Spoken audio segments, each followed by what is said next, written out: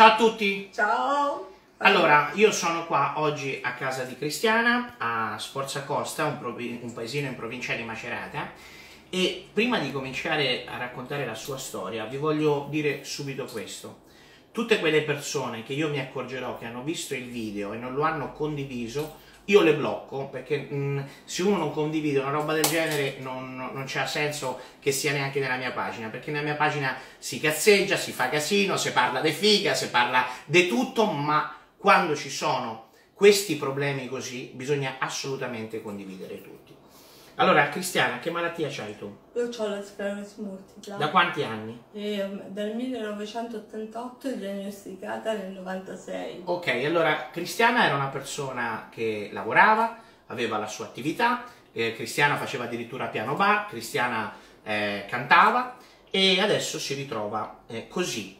Dal 2007 dal 2007 lei si ritrova a non uscire neanche di casa e si ritrova agli arresti domiciliari dentro casa sua. Lei mi ha mandato un messaggio disperato perché il problema è questo. Io adesso ve lo dico qual è il problema di Cristiana. Ve lo dico con le cifre.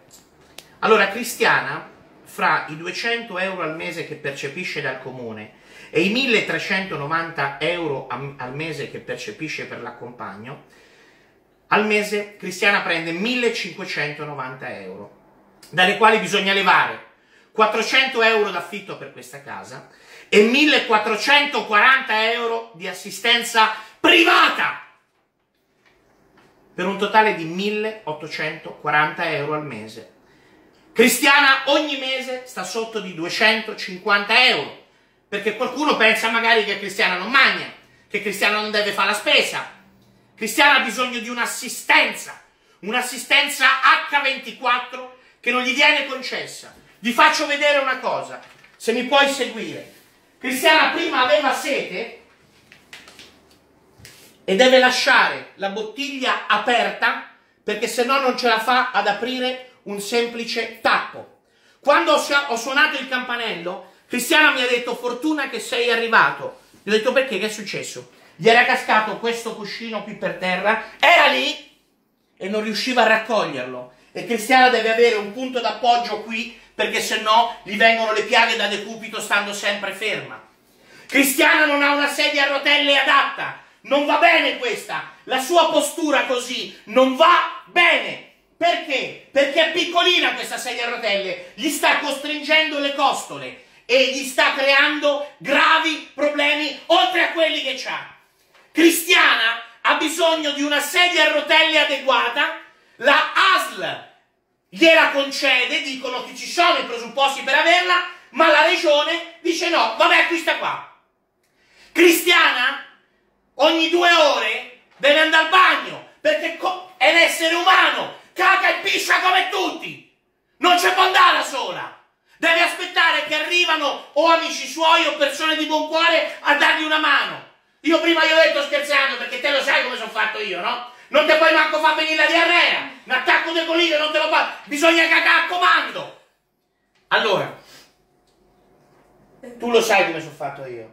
Scusa, io rido perché... Ma tu devi ridere, perché, perché loro... Ma tanto ascolta, ci saranno tante persone, qui devi sapere, che ci saranno tante persone dal cuore buono, la maggior parte, che capiranno e ci daranno una mano. E poi sai chi ci sarà? I bimbi minchia. Sì. Quelli che dicono ma questo perché non va lo stupido e basta invece che fa... Io non faccio niente. Io te l'ho detto prima, di lavoro faccio il cabarettista. Però non posso chiudere gli occhi o mettere gli occhi dentro la sabbia come fanno gli struzzi quando vedo queste ingiustizie. Allora, noi chiediamo... Meno male, meno male che c'è seduto. Allora, non mi di grazia un'altra volta perché sennò mi ingrazio. Eh. Allora, noi... Meno male che c'è sei tu. Allora, noi chiediamo assolutamente questo appello che dovete condividere deve arrivare alla regione Marche.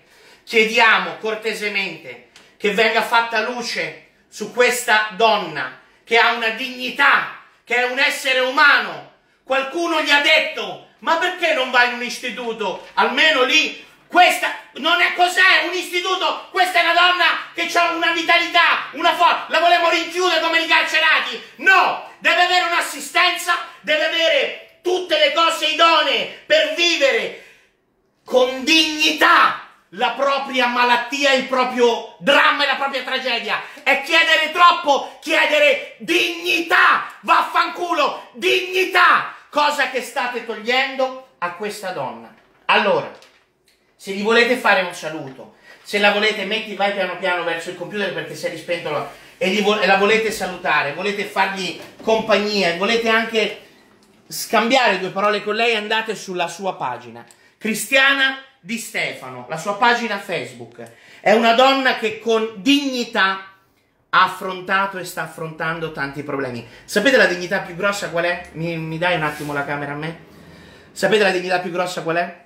Quella di una donna che con le lacrime agli occhi mi ha detto grazie a Dio ho degli amici che stanno facendo una colletta per me questo mese perché sono sotto in banca e non ho i soldi per fare la spesa.